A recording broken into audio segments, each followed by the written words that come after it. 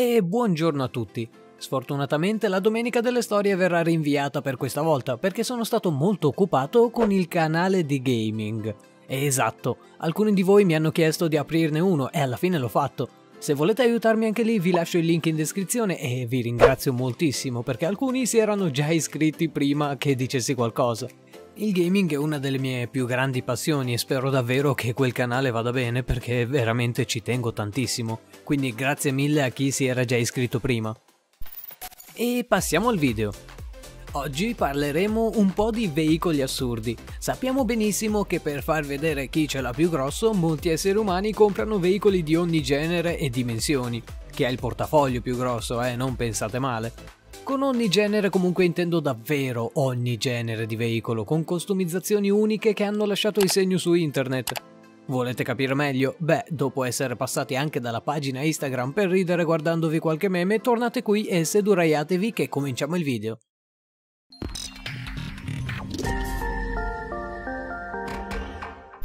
Bentley corazzata Guardando questa Bentley trasformata in un carro armato, sicuramente una cosa avrete pensato. Ah, scommetto che è stato un russo a farlo. Ed è così, e anche se non l'avete pensato ora lo sapete. Il canale Academy G è un canale YouTube russo che ha deciso sei mesi fa che le macchine di oggi non erano abbastanza cingolate. E quindi comprando una Bentley come se fossero pacchetti di fazzoletti ci hanno fatto un paio di lavoretti per renderla adatta, ecco, a qualunque strada? Direi di sì, e ora, se qualcuno proverà a suonarli, verrà letteralmente schiacciato. Questa Bentley GT si alza dal suolo di ben 60 cm. Ovviamente una cosa del genere non è stata facile da realizzare. Hanno dovuto potenziare il motore e mettere un bel po' di sospensioni, che riuscissero a reggere a pieno le 3 tonnellate di peso. Vi sembrerà assurdo, ma riesce comunque a raggiungere i 100 km orari con tutto quel peso. Sea Breacher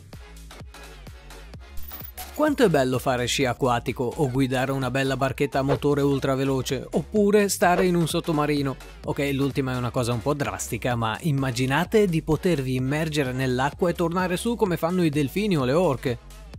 Il tutto dentro a un piccolo veicolo metà sottomarino e metà barca. Eccovi il Sea Breacher, un modo molto molto costoso di divertirsi in mare, ha la forma di vari esseri marini e può raggiungere anche i 90 km orari, potete godervi il mare senza alcun limite grazie a questo giocattolino. E ora sapete anche che il mondo non è noioso, semplicemente siamo troppo poveri. Volkner Mobile non è il nome di una delle macchine di Batman o di un supereroe qualunque. Dall'esterno può sembrare un normalissimo pulmino per scolari o anziani che vogliono farsi un giro in capo al mondo, ma non lo è. All'interno è un resort a 5 stelle completo di cucina, una stanza da letto spaziosa e un bagno. Ma non è finita! Se siete ancora troppo ricchi dopo aver comprato tutto questo gigante di lusso e decidete anche di comprare una macchinina più piccola, sappiate che c'è lo spazio per metterla dentro l'autobus. Sì, proprio dentro. Ai lati ha un piccolo garage con pedana scorrevole. Il prezzo di partenza è di un milione e mezzo di euro. Dall'esterno sembra veramente orribile e all'inizio molti non credevano nel progetto, ma ora forse potrebbe diventare uno degli autobus di lusso più richiesti dai ricconi. Ice G-Wagon con il ghiaccio si possono creare alcune delle sculture più belle del mondo. Se vi dicessi che questa forma d'arte è stata in grado di tirare fuori perfino una macchina più unica che rara, Sicuramente mi crederete visto che abbiamo visto già moltissime cose e siamo solo all'inizio. Comunque questa è la Ice G-Wagon, ovviamente creata da dei russi visto che il freddo peggiore per fortuna lo subiscono loro. Hanno creato dapprima lo scheletro e dopo sono passati alle tonnellate di ghiaccio, quasi 5 per la precisione, tagliata e lavorata giorno e notte. Se volete vedere tutto potete andare sul canale Garage 54, è una loro idea. Non hanno usato nessuna colla o saldatura, hanno solo messo l'acqua nei punti da collegare, acqua che si congelava subito unendo tutto. Ma il bello arriva la notte quando accendono tutti i LED. Che dite, non sembra l'albero di Natale a quattro ruote più bello del mondo? Eh, va bene, dai, un punto ai russi ce l'hanno fatta di nuovo. Quadro foil Quando pensate ai viaggi in acqua, cosa vi viene in mente? Il solito, no? Barche, yacht, eccetera. Ma adesso basta, non dovete più guardare a cose così obsolete e inutili come gli yacht. Ma sì, chi ha bisogno di uno yacht lussuoso quando c'è il quadro foil? Beh, io sinceramente sì, ma ho dovuto dirlo per cominciare l'introduzione di questa incredibile moto d'acqua che possiede quattro ali, per così dire, che toccano l'acqua e che tengono su il veicolo. Praticamente sarà come andare in auto, ma in acqua. Per ora può raggiungere la velocità di soli 40 km orari, ma se non avete fretta di andare al lavoro sarà un bel risparmio per il futuro, visto che è tutta elettrica. Macchina di carta. E dopo la casa di carta, eccovi la macchina di carta. Ok, il telefilm non si riferiva letteralmente a una casa di carta, ma vabbè. Qualcuno nel team dell'azienda della Lexus era ossessionato dalle carte di sicuro e per colpa sua forse sono morti tantissimi alberi, perché questi ingegneri hanno usato 1700 forme di carta diverse per montare questa Lexus. Guidabile. Sì, si può guidare. Finalmente una Lexus che posso permettermi. Quasi ogni cosa è stata fatta con la carta, sedili, volante, perfino le gomme non sono di gomma e i cerchioni.